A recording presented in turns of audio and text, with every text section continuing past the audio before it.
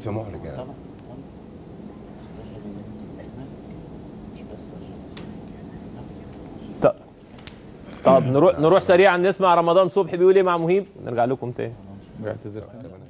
رمضان مبروك الفوز. مش هسألك في حاجة. تمام الحمد مبروك. الفوز. الله يبارك فيك. النهارده هتقول إيه بعد المباراة؟ كان لا أنا عايز أقول بس كلمتين مهيب لعيبة الأهلي طول عمرها رجالة وهتفضل رجالة مهما حصل إيه. بس آه. كده. بس طب ليه بتقول كده؟ لا لا لعيبة الأهلي رجالة. ال- الفترة اللي فاتت كل الناس كانت عمالة تتكلم بس إحنا الحمد لله أثبتنا إن اللعيبة رجالة واللعيبة كلها على قد المسؤولية. الحمد لله. فضل من عند ربنا. حب الجمهور ليك ده رمضان. لا طبعا أنا بحب أشكرهم يعني ودي ثقة كتير كبيرة قوي مديها لي وأنا إن شاء الله الفترة اللي جاية يعني المستوى الفترة اللي فاتت نزل إن شاء الله الفترة الجاية يبقى مين. قال مستواك هي دي الكورة الناس كلها. وأنت عندك كام سنة؟ والنبي؟ عندك كام سنة؟ لسه ما تمتش 19 عايز إيه مستواك؟ إيه؟ بتتكلم عن مستواك أنت بتتكلم عن مستواك إيه؟ كنت في المنتخب الأولمبي تقريبا وجايب جونين؟ الحمد لله الحمد لله مهيب الحمد لله. يعني يعني عايزك تركز في الكورة وما تبصش للناس والجمهور. إن شاء الله. مبروك يا الله رمضان. الله يبارك فيك. آه مستمرين معاكم أعزائي المشاهدين مع النجوم مع النادي آه الأهلي طبعا بعد طيب نروح سريعا برضو. ميدو عايز يقول حاجة بس الأول نروح سريعا. كابتن أحمد فتحي ومهيب عبد الهادي. اتفضل يا مهيب. طب اتفضل اتفضل يا ميدو. طبعا آه، أنا ضد اللي مهيب بيعمله. اللي مهيب عمله إن هو يستضيف رمضان صبحي بعد المباراة في رايي إن هو غلط كبير جدا من مهيب. ده رأيي. أقول لك ليه. في كل حتة في العالم في احترام ما بين المنافسين. نيمار لما تلاعب بلاعبي أتلتيكو بالباو أسبانيا كلها هزقته. صح حازم ولا لأ؟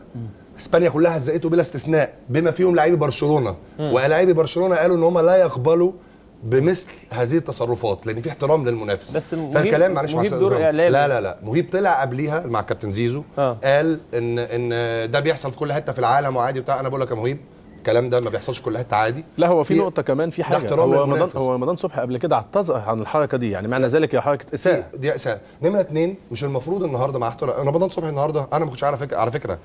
لولا إن مهيب جاب انترفيو مع رمضان صبحي أنا ما كنتش هتطرق للموضوع ده نهائي لأن أنا في الآخر بالنسبة لي رمضان صبحي لعيب صغير في السن وأنا ضد إن أنا أذبح لعيب صغير في السن. لكن في رأيي إن ال ال إن إحنا نطلع من مباراة النهارده آه نقول إن إن إن الحركة دي عادية ده في رأيي فيه لا آه، طبعا مش عادية. حركة مش عادية. أنا حركة فيها قلة احترام. عايز اكد طبعاً. طبعا. كلام ميدو وأحمد. طبعا آه، خروج رمضان صبحي بقرار من الكابتن زيزو ده. خروج مش فني. تربوي. طبعا طبعا. حتى لو آه، آه، كابتن زيزو آه، بيقول بعديها إن ده بيحصل لا صح. هو طالما الحركة مش فنية فيها أداء skill أو مهارة أو فيها تكنيك معين في كرة القدم مقبول.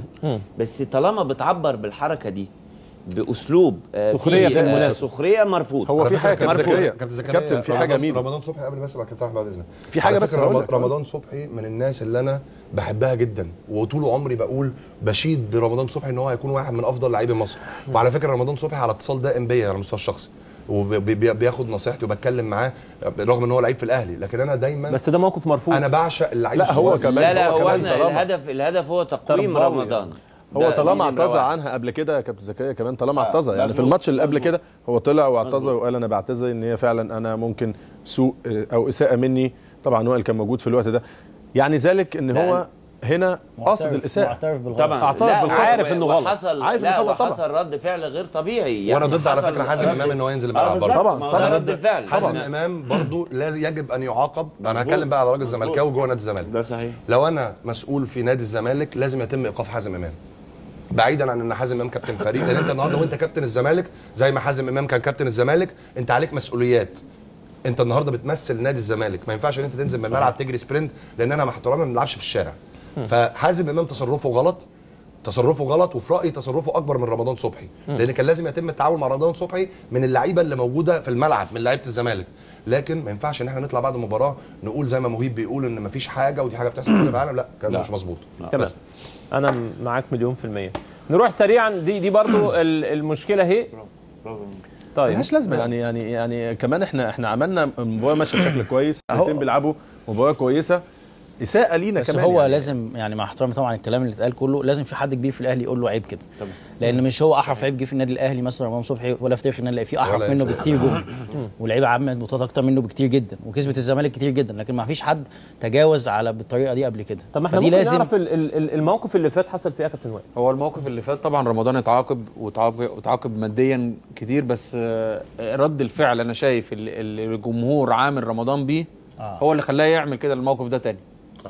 يعني يعني رمضان لو كانت واقف في النادي ساعتها إيقاف فني إيقاف عن المشاركة في مباريات كان حس بقيمة الغلط.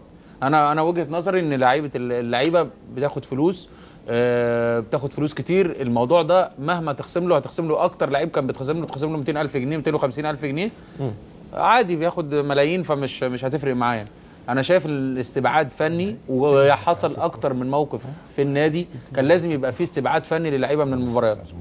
هي هو ده اللي مزعل جمهور النادي الأهلي وهي دي المواقف اللي بتأثر لعيب الكورة أكتر حاجة تحرقه يا كابتن سيف إنه ما يلعبش. إنه ما يلعبش إنه يتعاقب صح. ما تقوليش بس آه، بس. سؤال بس سؤال بس بس معاقبة إنك أنت معاقبة أنا عندي لعيبة كتير يا أحمد لو هتقول لي. أنا ما عنديش لعيبة لا عندي لا لعيبه لا, لا كتير مش قصدي مش قصدي ده ده احترافيا مش صح أيوة لعيب. فنيا لأن أنت كده بتأذي الفريق مش بتأذي بس في. حاجات يا أحمد في في حاجات في حاجات- بس في حاجات لازم في. حاجات- في حاجات في حاجات سلوكيات حاجات لازم. في سلوكيات يا كابتن ده عيب يا جماعة الزمالك كان بيكسب الأهلي بقاله سنين طويلة عمرنا ما شفنا أبو تريكة بيقف على الكورة ولا عمرنا شفنا بركات بيقف على الكورة ولا عمرنا شفنا ولا مدحت لما كنا بنكسب. مثلا كنا نروح نقف على والزمالك طول عمره لما كان بيكسب حازم إمام في, وقت من الأوقات ثلاث سنين بيكسبوا ال- الأهلي وبيكسبوا بطولات وبتاع عمر ما حازم يعني أنت. عايز تفهمني إن فنيا حازم إمام ما بيعرفش يقف على الكورة